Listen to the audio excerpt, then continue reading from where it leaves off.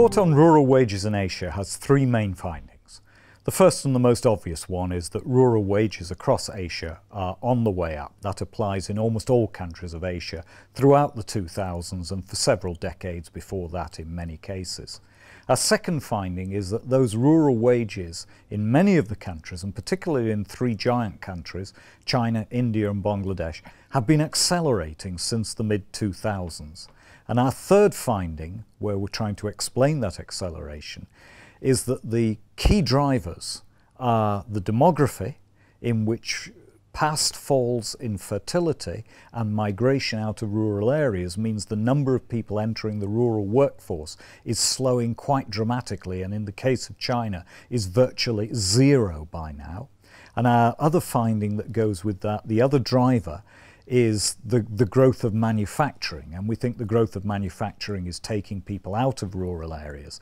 And the effect of that is that because there are fewer people in the rural areas and you've got an expanding agriculture, upward pressure is there on wages. Now, there are three key implications of this. The first and most dramatic implication is, is that this is almost certainly the end of mass poverty in rural Asia.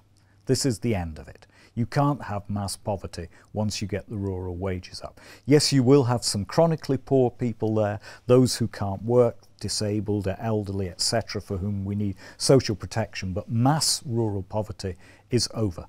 The second thing is that this is putting upward pressure on the price of food in Asia. So cheap rice is now no longer a possibility in Asia. This creates opportunities for other parts of the world to export food to Asia. And our third and most dramatic implication is it's driving up the costs of manufacturing in Asia. Manufacturers can't get dirt cheap labour off the land anymore and they have to start putting up their, their salaries in the manufacturing plants.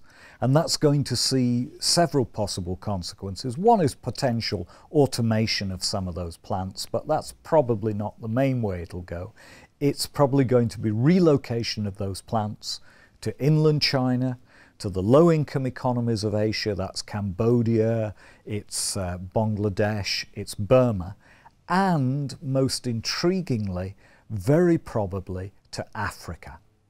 And the impacts, hence, of rural wages rising in, in Asia is this is good news for most of Asia. It's almost certainly extremely good news for Africa because we can expect to see hundreds of thousands, if not millions of jobs moving across the Indian Ocean in pursuit of lower wages in Africa. And Africa desperately needs manufacturing investment.